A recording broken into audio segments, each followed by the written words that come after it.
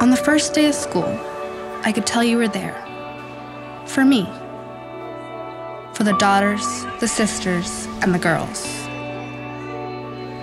Because you believe we will make a difference in the world. You have an unusual depth of insight into my great adventure of learning.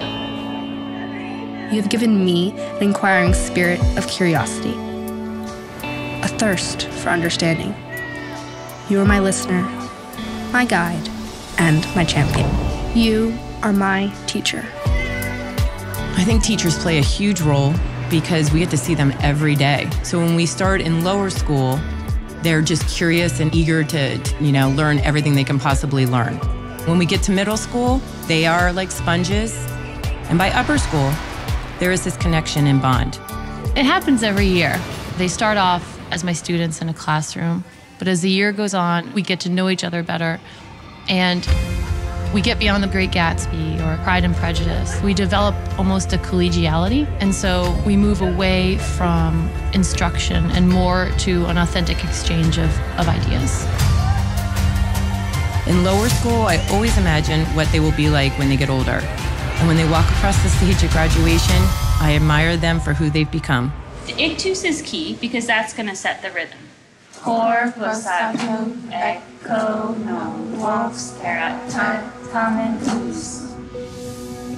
I'm in awe of the students here. They're fully engaged in their learning. They simply love to learn. Alessandro Botticelli epitomized the spirit of the Renaissance. She gives you the subject, Botticelli. We're in Italy. Like the significance. But it's that student teacher connection that makes me feel so grateful to be at this place. Teachers have a high calling we give the students a safe place to take risks. I was a student here and was very shy.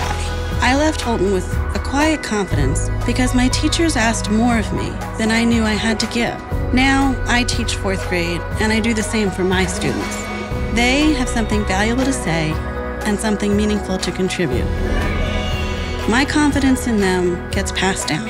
My hope for the girls is that they walk away knowing that they are capable, competent, strong women who can do anything. I don't think you can be a teacher without having the curiosity and the desire to always keep learning. That's something that drives me.